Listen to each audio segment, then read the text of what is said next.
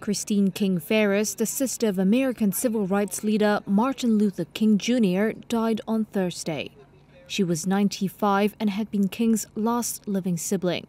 Farris died peacefully in Atlanta, Georgia, with her family by her side, according to Atlanta's King Center for Nonviolent Social Change, a group she founded after the death of her brother.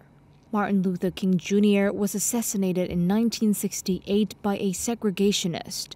That was five years after he gave his famous I Have a Dream speech, calling for equal rights for black Americans and for an end to racism in the United States.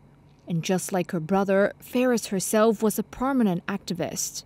She took part in historic movements such as the 1965 March from Selma to Montgomery, Alabama, and the March Against Fear in Mississippi in 1966.